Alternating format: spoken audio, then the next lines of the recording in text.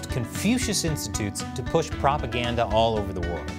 The U.S. finally woke up to the threat and forced many Confucius Institutes to close down. But they didn't actually go away.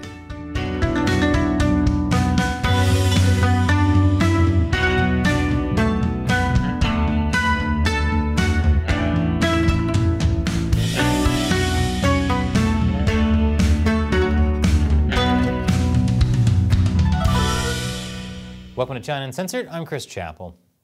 You know, sometimes I hate being right. Like that time I said it was literally raining cats and dogs outside. What a confusing, sad mess. Or when I said Confucius Institutes would close down, but then come back under a new name. What's to stop them from changing the Confucius Institutes so we have no choice but to put them back in our universities?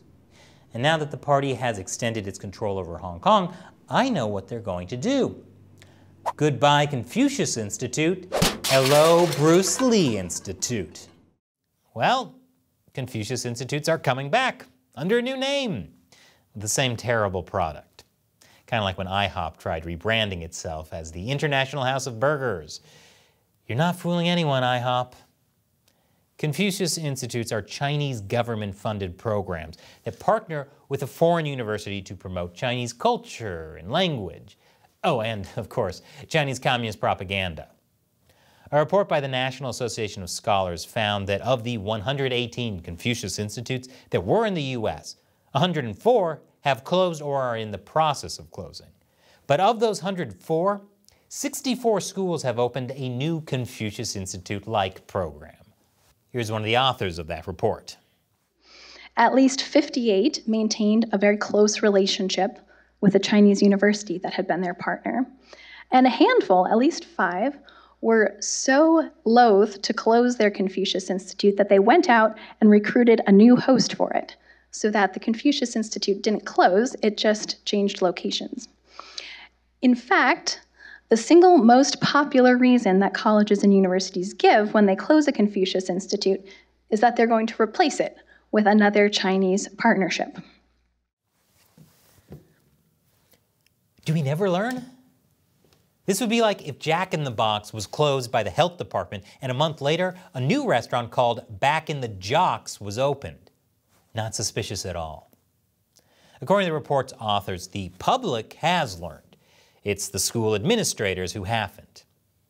And they should have known because there were some pretty big red flags right from the beginning.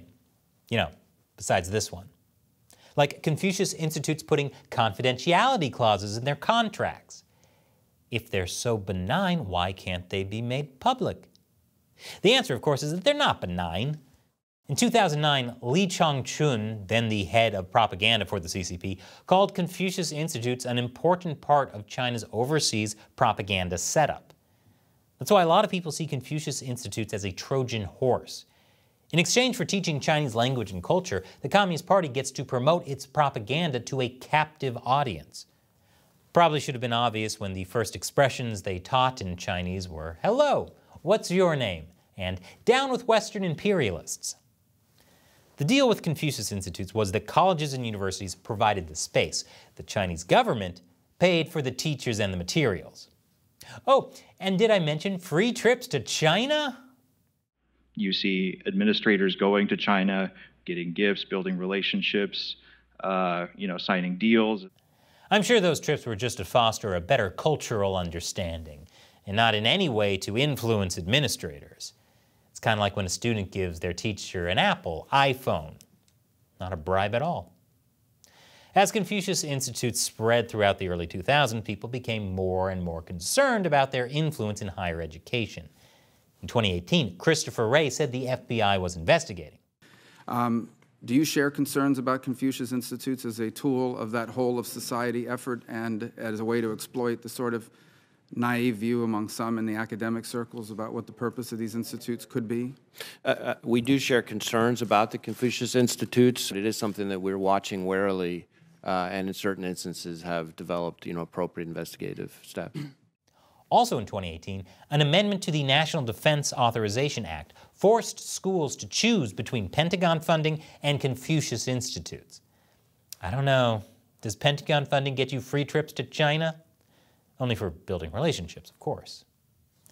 In 2020, the State Department designated Confucius Institutes as foreign missions of the Chinese government. Then there were some high profile cases that showed just how much of the Confucius Institutes were tied to the Chinese government. A woman who practices Falun Gong, which is banned in China, said she had to declare that she wouldn't practice Falun Gong. That was on a hiring form for a Confucius Institute in Canada. The Confucius Institute even published a stipulation in English on its main website stating that teachers at the institutes must have no record of participation in Falun Gong. In another case, China tried to get Stanford University to sign a $4 million contract with the agreement that one of the professors it was funding wouldn't talk about Tibet. Stanford said no and walked away from the deal. And there have been reports that Confucius Institutes have worked behind the scenes to quash visits by the Dalai Lama. So with all that public scrutiny, schools wanted to distance themselves from Confucius Institutes, and many ended their contracts. That was a good thing, but it was only a first step. After the break, I'll tell you what the Confucius Institutes did instead. Welcome back. Confucius Institutes have developed something of a reputation in the U.S a reputation for being a Trojan horse of the Communist Party. To avoid scrutiny, Confucius Institutes are changing their names, shape-shifting, and going underground. It's like when a canceled comedian tries making a comeback by playing at smaller clubs. I see you, Kill Bosby. According to the National Association of Scholars, institutions with shuttered Confucius Institutes have entered new sister university agreements with Chinese universities, established new centers closely modeled on defunct Confucius institutes, and even continued to receive funding from the same Chinese government agencies that funded the Confucius Institutes. Of the 104 Confucius Institutes that have shut down, the report said they couldn't find a single case where it was clear that the school had cut ties with China completely. In some ways, this shape-shifting has made China's influence harder to track. Instead of just one organization under a single name, the new programs are all different. You cut off one head and two more grow in its place. If you're wondering why I think the Chinese Communist Party are the bad guys, it's because they literally act like Hydra. Even the Chinese government agency that used to run Confucius Institutes has changed its name. And not to the Bruce Lee Institute. It's so much worse. They're using a bunch of boring names and acronyms so that keeping track of them all just feels exhausting. The Chinese Language Council International used to be in charge of the Confucius Institutes. It's now called the Center for Language Exchange and Cooperation, or CLEC. What a boring, useless name change. That would be like if a Jim Johnson changed his name to John Jimson. Ha! They'll never find me now. CLEC now runs the programs that replaced Confucius Institutes. CLEC spun off a nonprofit called the Chinese International Education Foundation, or CIEF, which now handles the Confucius Institutes. Even the Asia Society, a US-based nonprofit that has been promoting Confucius classrooms, changed its program name. It used to be called the Confucius Classrooms Network, but has since changed it to Chinese Language Partner Network. Speaking of Confucius classrooms, that's another way Confucius Institutes live on. Confucius classrooms work with elementary through high school students, and there's about 500 of them still operating in the U.S. Confucius classrooms are essentially the same as Confucius institutes, but for younger kids instead of college students, because you're never too young to learn how to say, down with Western imperialists. If for whatever reason Confucius classrooms haven't received the same level of scrutiny. The National Association of Scholars has urged the federal government to investigate them, though. In 2020, the Secretaries of State and Education wrote a letter to school administrators alerting them to the risks of hosting a Chinese language program, but it stopped short of taking any action to stop their spread. There has been action taken on the state level. Last year, for example, Florida Governor Ron DeSantis signed legislation that would ban any Florida school from entering into contracts with a foreign adversary, including China. The legislation also increased reporting requirements for any foreign funding in schools. Last year, the U.S. Senate also passed a bill called the Confucius Act that would have given American schools more control over Confucius institutes. It also tried to increase transparency from foreign sources in higher education. That bill never passed the House, so it never became law. And maybe that's a good thing, because like I said, Confucius institutes aren't the real problem anymore. It's the boring Hydra replacing them that's the real threat. And now it's time for me to answer a question from a China Uncensored viewer who's part of the 50 Cent Army. That's a group of fans who directly support us through Patreon or locals. Richard Wahlberg asks Dear CU, I've heard there's a Confucianist revival going on in China. Do you think the CCP will try to crush it or co opt it as a rallying point against Western globalism?